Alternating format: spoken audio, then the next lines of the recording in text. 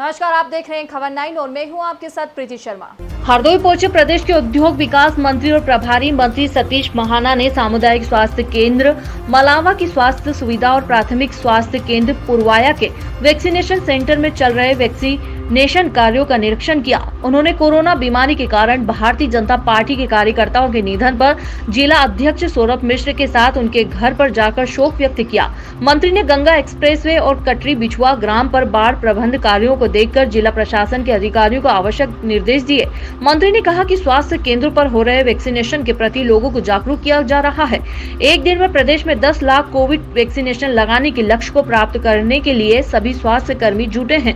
हरदोई में कल एक दिन में लक्ष्य से अधिक 17,500 लोगों को कोविड की वैक्सीन लगाई गई। कोरोना जैसी महामारी को वैक्सीनेशन से ही रोका जा सकता है। इसके लिए सभी को जागरूक होना आवश्यक है। किसी भी प्रकार की कोई कमी नहीं किसी के साथ कोई कंपैरिजन नहीं हो जाता। कभी कभी लोग कहते हैं कि यार एक दो परसेंट लोगों की फर्टालिटी हुई एक दो परसेंट लोगों की मृत्यु हुई। मैं इस बात को सुनकर दुखी होता हूँ। तो दो परसेंट व्यक्ति में से जो व्यक्ति ज़्यादा उसका हंड्रेड परसेंट ज़्यादा उसका एक दो परसेंट नहीं ज़्यादा ये एक दुखद लेकिन शासन के सरकार के द्वारा हर प्रकार की तत्परता बरती गई। दुर्भाग्य से इस प्रकार की एक सूचना है, इस प्रकार के प्रोडिक्शन है लोगों को, कि तीसरी वेव भी आ सकती है।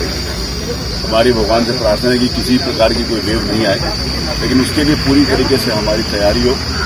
और तैयारी में सबसे महत्वपूर्ण बात यह है कि अधिक से अधिक लोगों को वैक्सीनेशन हमारे प्रदेश में कल साढ़े सात लाख के लगभग वैक्सीनेशन हुए।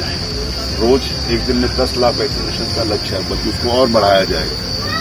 वैक्सीनेशन के लिए लोगों में जागरूकता हो वैक्सीनेशन के लिए लोग वैक्सीनेशन सेंटर के ऊपर आएँ और वैक्सीन लगवाएँ। ये प्राथमिकता है।